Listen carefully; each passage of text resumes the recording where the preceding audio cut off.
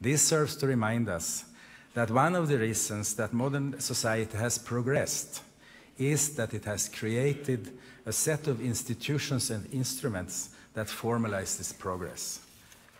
Human rights is one of these, as is science and democracy. But again, we cannot take these institutions and instruments for granted. We are all aware of the increasing questioning of universal human rights, freedom of speech, and academic independence. All values closely connected with what the Nobel Prize stands for.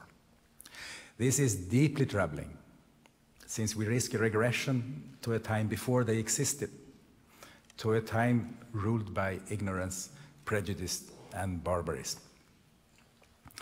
The now more than 900 Nobel laureates and their achievements are a source of inspiration to us all.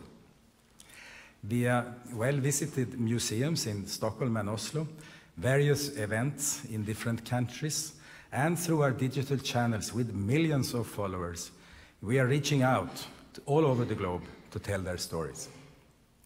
To further enhance our outreach activities, we have been working hard with support from the Erling Persson Family Foundation and the Knut and Alice, Alice Wallenberg Foundation and many other donors to achieve a Nobel Center in the heart of Stockholm. We would like to take this opportunity to thank them, as well as the architects, David Chipperfield and Christoph Felger, for their support and commitment.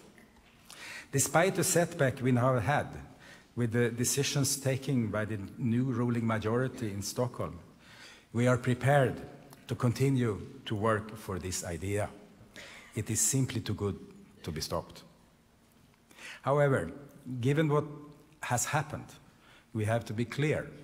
If Stockholm is going to get a Nobel Center, strong, concrete, and reliable support from the city of Stockholm as well as from the government of Sweden will be needed.